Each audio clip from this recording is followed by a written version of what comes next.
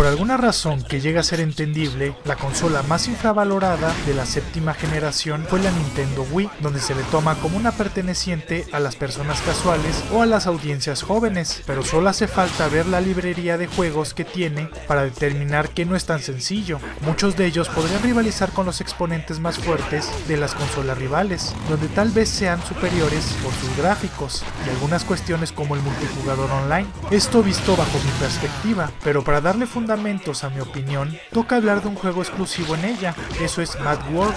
Este pertenece y fue desarrollado por Platinum Games.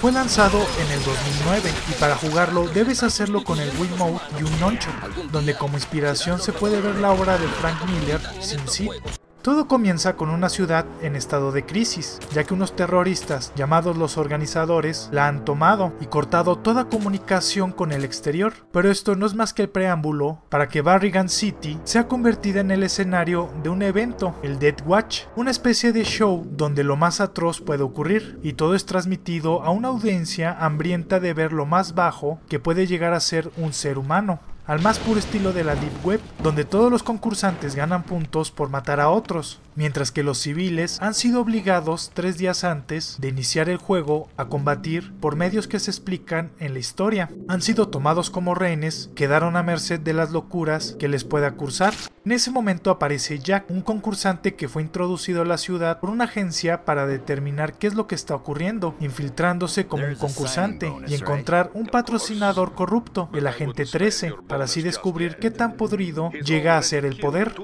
Durante el juego, como se dijo antes, utilizaremos a Jack Gaiman, una especie de antihéroe, el cual tiene una motosierra retráctil incrustada en su mano derecha y que le sirve para defensa, así realizar varios movimientos en los escenarios, todo simulado como si estuviéramos en un cómic en blanco, negro y diferentes tonalidades de grises, donde el único color que veremos será el rojo, y eso para resaltar la sangre de los enemigos o la tuya. El juego es un hack and slash, donde tendremos como objetivo la obtención de puntos, los cuales nos serán otorgados con las diferentes variables que realicemos para acabar con los concursantes. Lo primordial es que podremos golpearlos, agarrarlos, saltaremos, esquivar sus ataques y utilizar nuestra sierra. Esta última tiene un tiempo limitado para su implementación, representado por una barra que está por debajo de nuestro indicador de salud y que al gastarse se volverá a recargar con el tiempo, que para realizar diferentes acciones tendremos que mover el Wiimote hacia la dirección que deseamos, mientras que el Nunchuk nos sirve para movernos, brincar y fijar la cámara en los enemigos. En los escenarios tendremos una variedad de objetos que sirven para utilizarlos en los enemigos y aumentemos nuestro score, que mientras más cosas le dejemos a los enemigos, mayor puntos nos darán, que al final rematemos, ya sea con nuestras manos o nos valgamos del escenario para hacerlo. Todo esto con muertes vistosas y donde se nos presenta una pantalla de Quick Time Event. Conforme nuestra puntuación suba, en el nivel se nos irá desbloqueando diferentes áreas, objetos, enemigos y minijuegos, por lo que el juego hace lucir un contexto de que estamos en un show de TV. En ocasiones no son necesarios para hacerlos, para llegar contra el jefe de área, pero como siempre son muy útiles, sobre todo las diferentes armas que te irán abriendo, mientras que los minijuegos se centran en utilizar algún mecanismo para destrozar y así acabar con el mayor número de enemigos, todos presentados y explicando cómo funcionan por el inmortal Black Baron, todos estos te darán puntos y quedará registrado para que lo puedas batir cuando gustes para que al acumular un número determinado podremos enfrentarnos al jefe de la zona y al derrotarnos nos posicionaremos en el rango donde estaba este. Los niveles son muy vistosos y podremos recorrerlos a voluntad, la mayoría serán a pie, pero en algunos montaremos una moto, todo narrado por nuestros comentaristas sádicos, que te pueden arrancar una risa. Algo que no entiendo es porque casi todo está traducido, con excepción de las cinemáticas. Las voces de los narradores, las instrucciones y el menú, si lo están, no es un problema, ya que cuenta con subtítulos, pero no entiendo por qué sucede con las cinemáticas. Cada nivel que se podrá dividir en capítulos lo tendrás que acabar en menos de 30 minutos. Habrán misiones secundarias como la de encontrar algunos objetos o salvar a civiles, mientras que en ellos contaremos con dos vidas para finalizarlo, pero podrás conseguir más al buscar algunos globos con la cara de Jack, pero estos no se acumulan, por lo que al entrar en otro nivel este contador regresará a 2 y al ir avanzando en la historia el juego desbloqueará diferentes retos en los niveles que hayamos acabado y si nos perdemos podremos guiarnos con el minimapa, el cual nos indica dónde están los enemigos y los objetos que nos irán desbloqueando. Para recuperar nuestra salud debemos agarrar unas píldoras que nos restauran una porción, mientras que si comes la comida favorita de Jack, es decir, cebollas crudas, esta se repondrá por completo.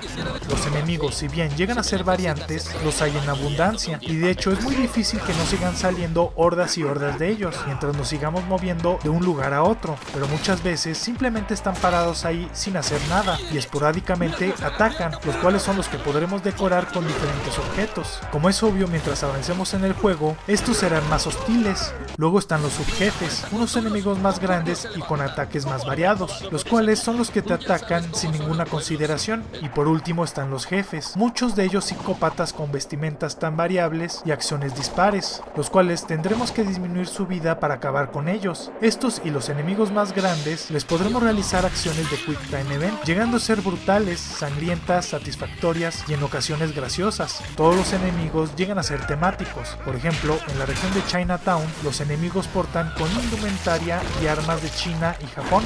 El juego presenta un modo multijugador, pero solo podremos hacerlo de forma local y nos disputaremos en los minijuegos, cosa que no es mala, ya que el modo competitivo es muy adictivo y así sabrán quién es el más psicópata de tus amigos. Una cosa que hubiera estado genial es que pudieras jugar con otra persona el modo historia, ya que se prestaría para una sesión donde la risa se convirtiera en la protagonista.